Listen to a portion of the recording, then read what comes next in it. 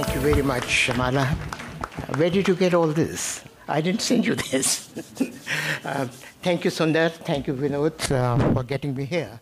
What I, what I propose to do uh, in the course of the next two, three, uh, two hours is to go into the very basic question uh, of sustainable urbanization.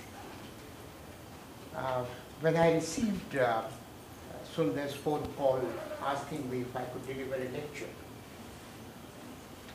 what the thought that I had was that this question, sustainable, keeps coming again and again, uh, giving me the impression that people do think that the that urbanization and the way it is occurring in India is not sustainable. There are some fears, there are some apprehensions that the way India and the world are facing urbanization, urbanization challenges, there's something wrong with it, and we need to bring in some kind of a correction. I thought I'll, I'll deal with this issue uh, quite extensively, uh, as much as I can.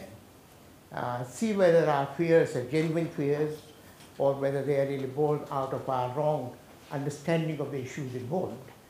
Um, and then try to enter into uh, a second uh, issue, which is to what extent, if at all, if at all our fears are genuine, then the question arises to what extent the, the whole urban policy, urbanization, whether these are policy induced or whether we are on the right path, but there's something wrong with the way we perceive urbanization.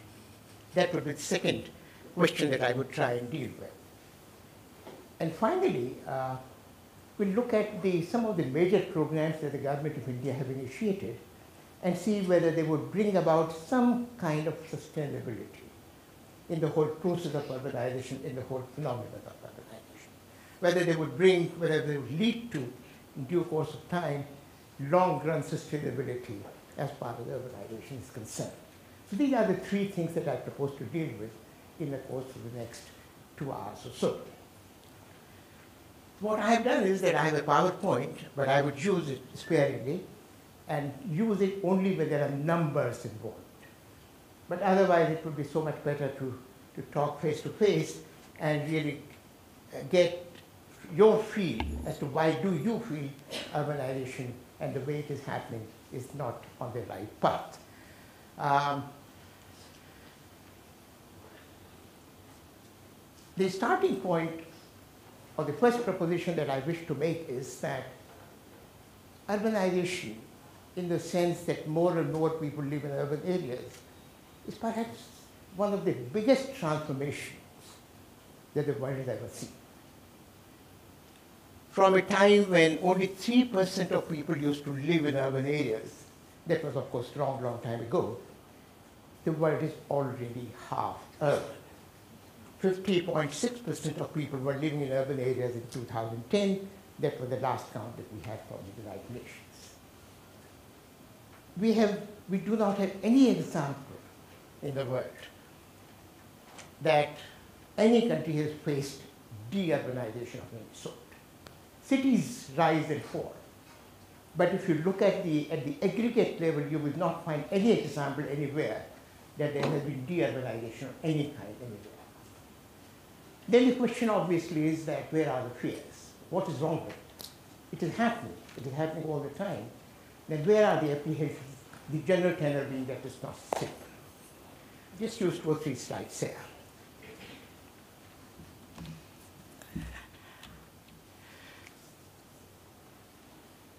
Does the fear arise from the fact that the pace of urbanization, the speed at which it is happening, is too fast?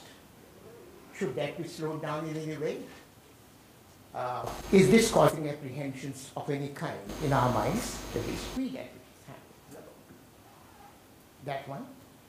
The second issue that we, I think, need to consider is, are the numbers, the huge numbers that we deal with, are these a matter of concern? Globally, there are 3.5 billion people who live in urban areas. Is that a matter of concern? The numbers, not being able, not being able to handle them? Or is the distribution of urban population among different sizes of settlements, is that the issue? You go to Delhi, you, you, you live in Delhi or Mumbai or Bangalore and so on and so forth, and people say, oh, this place is becoming impossible to live in. Why is that? What is, what is behind our mind? Is the size the problem? Or you go to a small city, people say it's not a place worth living in. Anyway, so either you go to a small town or a big town, people do see that as a problem. So is the size distribution, the way it is distributed, the urban population distributed among sizes of, uh, uh, of uh, centers of different sizes, is that issue? Should we begin to look at it a little more carefully? Or is it the inability of the global community to be able to provide housing, infrastructure, and services to such large numbers? And that really is the what goes on at the, at the back of our mind is that issue. And do the urbans consume? I think being in and being uh, probably that question might arise. Do the urbans in any way consume too much compared with the non-urbans? Is it the reason that we find the current level or the pace of urbanization unacceptable, that we consume far more than our counterparts in non-urban Or is it a question of resources? Does the world economy have the money needed to adequately sustain 3.5 million people, urban residents right now, and also growing at a rate of about 2.5% per annum. Is that the, is that the issue? Or does it really, or does uh, unsustainability stem from the kinds of policies the countries pursue in dealing with urbanization? And I think we will get into that question a little more in detail. And these issues will form the subject of this morning's session. Just one word. Interrupt me anytime that you like. It won't disturb me for. Don't wait for the question until the very end. Just ask whenever you feel like. Let's see the, this phenomenon and the process of urbanization both worldwide and in India. Some numbers. Um, if you look at the first column, the world from 1.74 billion to about 3.49 billion in 2010. That within a matter of 30 years, the world's total urban population doubled from 1.74 to 3.49, exactly doubling. When you look at the, the developing countries part, it has not only doubled, but it has risen by 2.5 percent from about a billion or 995 million, it has gone up to 2.7 million, 2.5 times. And when you look at the level, and this is what I was mentioning, that the world is already half urban, you will find from about 39% in 1980, the world has become 50%. Developing countries are racing up, it's already 45%. What is interesting is by the year 2050, the developing countries would have caught up with the developed world in terms of the levels of urbanization. Both, there would be virtually no difference between the developing country, between developing countries as a group and the developed countries when it comes to levels of urbanization. Don't, don't write these down. I'm sure that the PowerPoint would be given out as a handout. So, so just look at these numbers. That's the way we have been urbanized. This is the question that always arises, the pace, the pace at which the global, glo the world is urbanizing and the, and the developing countries are urbanizing. If you look at this, uh, uh, you will find that there has been, in recent decades and recent years, the pace has been tapering off. From about 2 point, globally from about 2.69, which was the high in, during 1985, 1990, it has now come down to close to 2%, 1.98%. When you look at the developing countries, you would find a similar trend. The world is not urbanizing as fast as it was in the early 1990s. It's not urbanizing, it is slowing down. And part of the slowing down is you, if you look into the details, you will find the growth rate, which is a, of urban population, which is a function of three or four factors, where the natural growth rate is declining worldwide. And that has contributed to the declining rate of urbanization as, as, uh, uh, as, you, as you see from the table. You will find similar trends in India. We'll come to the Indian figures in a few minutes. Uh, this is just a graph showing different parts, not, need not read. This is a very interesting sort of uh, table. Find it in 1950, there were only two cities in the world which had population of 10 million plus, just two. And that was New York and Tokyo. Today, in 2010, there are 19 cities which have 10 million population plus. The interesting part is that of these 19 million, of these 19 cities, there is only one addition, that is Osaka, uh, uh, which has also become a 10 million plus city. All other cities are in the developing countries. So developing countries are facing a very different way of urbanizing, that large cities are increasing in numbers. 10 million cities and so on and so forth, they're increasing, while the numbers of such large cities is almost over, that phase is uh, almost over in the developed part of the, of the world. And even if you see the projections up to 2025, I think there is only one or two cities like Osaka, and I think Paris might become a 10 million city in the year 2025, but there are serious doubts about that also. The interesting part about this table is that uh, virtually no, there's no experience of any kind anywhere how to manage such large agglomerations, how to feed them, how to bring water, how to deal with their waste, how to ensure that people are mobile in those cities, it is virtually no experience of any kind. There are no precedents anywhere.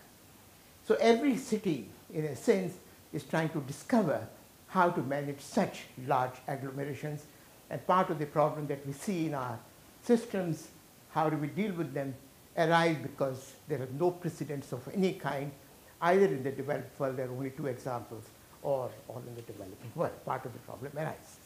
I might also uh, invoke here that um, if you look at the policies worldwide, you will find a very cautious kind of policy here, which have been saying that the cost of running such cities rise disproportionately. Um, in fact, that was a, one of the most favorite subjects of research in 60s and 70s used to be, whether there was an optimal size of a city, where that cutoff point, that 4 million, 5 million, beyond which costs begin to rise disproportionately or, or not, or whether we should stop chasing this word optimal size. There was a lot of work, both in India as well as, uh, as uh, outside. If you see the, I think it's the fourth five-year plan, half, half of you would not have been born at that time, um, uh, which says that cost of dealing with large cities is very high. And part of the policies that India has followed stemmed really from that one single sentence, that cost of maintaining these cities is very high. And all the programs that were taken up in India in the early 70s and early 80s really followed that particular sentence and emphasis on small cities, emphasis on intermediate cities really came out of that kind of a policy statement. Um, in, in, fact, if I recall right, there used to be um, studies which would test out a U-shaped curve, a cost curve, and the hypothesis used to be that the costs are very high in very small cities. They decline as the city size increases, but then begins to rise again after a certain point. And that really led to the thesis of optimal, that there is an optimal size that were disproved by subsequent works and so on and so forth. Let's see where are we as far as India is concerned. India is a low urbanized country, even today. Just about 31%. Uh, I think we still haven't come out of the, the old maxim that India lives in villages. Oh, I'm, I'm sorry. I think that must be the attraction of both Leela and Sundar that puts in that side. mm, the, I think we still haven't come out of the old maxim that India lives in villages. Um, and um, um, so uh, you, you, you, find this reflected in these figures. Uh, we, in 2011, we were just about 31.2% urban. Uh, 377 million people. It's true that we have the second largest urban system in the world uh, after China. 377 million is not the population, even the total population of the next largest country. Uh, even, even that is not there. What is important is the last one, that our annual exponential population growth rate is now 2.7. It had been declining, but there has been a slight retrieval of the growth rate in the decade of 2001 to 2011. It had started declining, but it showed a slight rise once again in the last decade. Uh, attributed, uh, as we, some of us do with economics background, attributing it to the open economy, including GDP and so on and so forth, which really come out of the of, of uh, uh, the recent uh, recent events and very close connection. You will also find some of these charts where, particularly this one, showing that that is the way the rural population is declining, and that is the way the urban is increasing. And if you see this graph, it shows when would India become 50% urban. And according to the, straight line kind of projections, somewhere in 19, uh, 2041, 2042, India should become urban at the current rates of urban population growth. I do not know whether we should uh, speed up the process of becoming urban as is the fashion in a number of countries, that that becomes your goal how fast or how soon can we become 50% urban, or whether we should, for whatever reasons, well, let's not uh, hurry it up. That's a doomsday, and let's slow down our process of urbanization. It really all depends on how one, one really looks at it.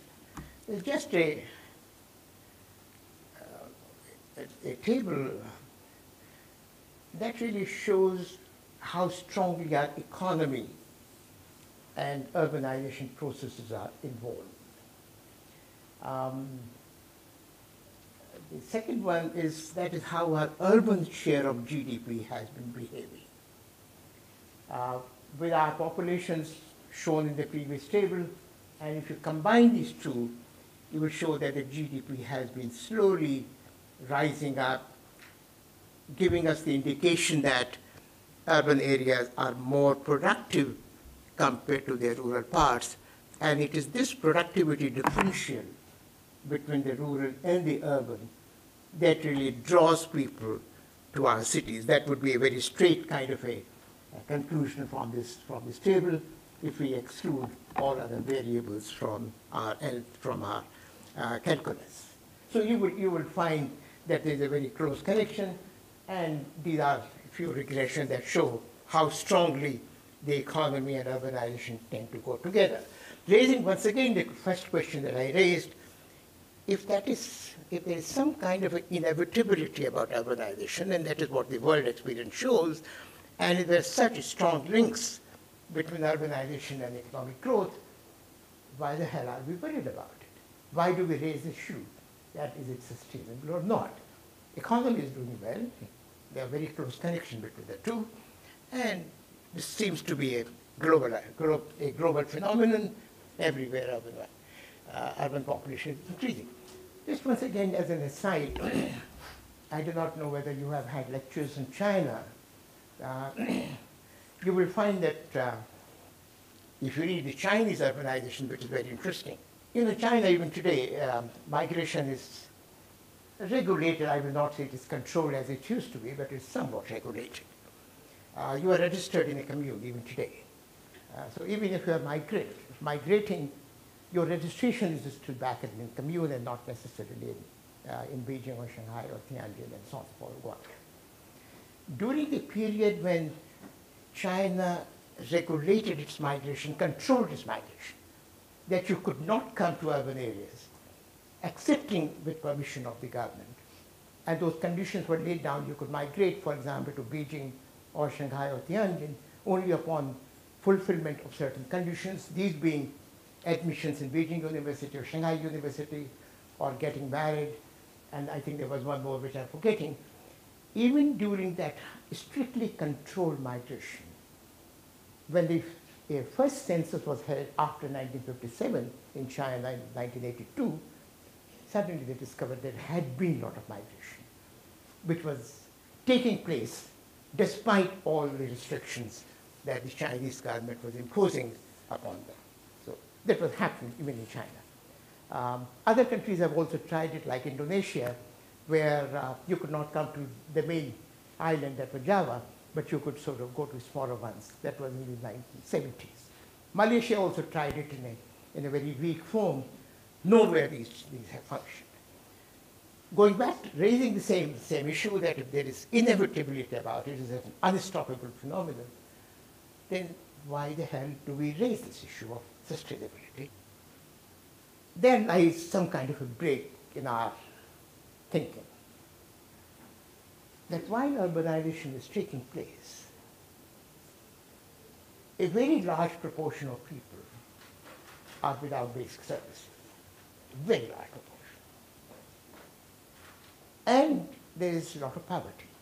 But the question that arises is that, well, if urbanization is such a good thing, why would it not begin to impact particularly on poverty issues? If your GDP and, and uh, urbanization are so closely linked, why is it that urbanization, poverty is so widespread and poverty is increasing in India, uh, in India's uh, areas until the uh, Abhijit Sen is not here, but um, you know, he was here yesterday, but those figures on poverty are still highly contentious, but whatever these are, have a look at them.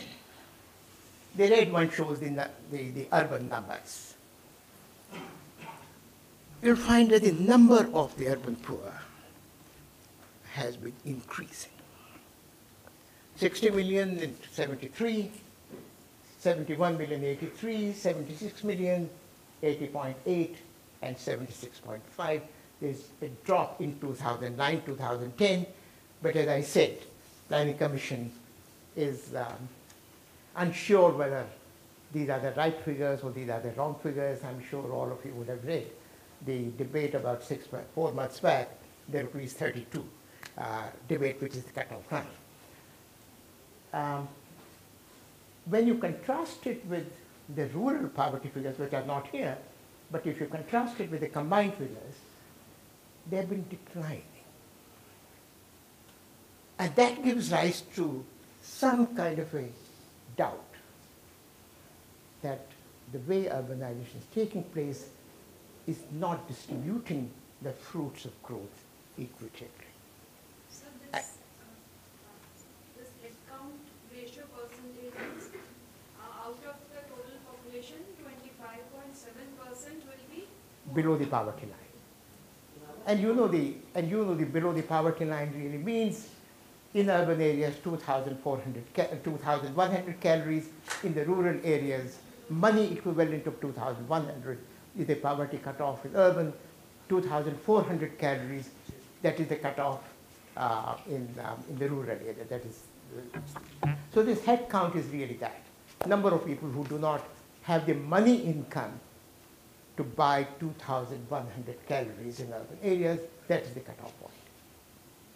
And in the combined one, of course, both rural and urban but if you look at the urban, 60 million people do not really earn enough to be able to buy 2,100 calories. This is true. This definition, incidentally, has been the same with minor modifications, estate adjustment, price levels, and so on and so forth, but right from 1973, when the first attempt to estimate was made, uh, following Dandekar and and so on and so forth. This is the first indication, uh, or the first doubt that gives that that is so. Further probing of these poverty figures will show that poverty in urban areas is declining at a slower rate wherever it has, uh, or, or uh, no, it's showing at, yeah, sorry. If you see the last column in the, in the top table, it that urban, um, the, uh, the, the, let me see if I can adjust it. The numbers are rising in the urban, but declining in rural and declining in the total making the same point again, that the urbanization, the way it is taking place, there are poverty around. The way it is, it's not, it is not addressing issues of poverty, the way it is happening. And many um, scholars very clearly point out that, look, it's the poor people who come from the rural areas and they just settle down in, in, in, uh, in this place, leading to poverty and so forth. I'm not, I'm not showing to you some other tables uh, uh, which deal with the levels of deprivation in terms of water, in terms of uh, how the speed of mobility or the mobility has slowed down over the years, um, or uh, solid waste not being collected. Those are all symptoms or the manifestations that we keep hearing that, look, you can't even supply water. Um, it comes for one hour or it comes for two hours. And that really, uh, if I talk in my family with, uh, with my wife, uh, her responsibility was, what are, you, what are you people doing? I mean, uh, you talk about large cities being so productive, but they may be productive in your sense, but they're certainly not productive when it comes to dealing with the household uh, not, not having water or enough water or electricity. So all, all those, I'm not showing those, those numbers uh, which, are, which are available everywhere. But then the question obviously is that uh, uh the, uh, where, where is the unsustainability there? Oh, oh. Yes, that some people arguing that uh, it is unsustainable because it leaves out a very large section of urban population without access to shelter, without access to services, without access to infrastructure. A section of, it leaves out a section of urban population below the poverty line, exposed to risks, and who, those who bear a disproportionately high cost of environmental degradation. This is the kind of a conclusion that is often fleshed out whenever we raise issues of sustainability, that how can you call this a sustainable phenomenon. Uh, uh, more, more concepts are expressed in this way, that there are resource depletion, such as groundwater, fuel wood, arable land. There's lots of figures coming out of TERI and TEF, coming out of other, other organizations. Uh, people do talk about very unrealistic and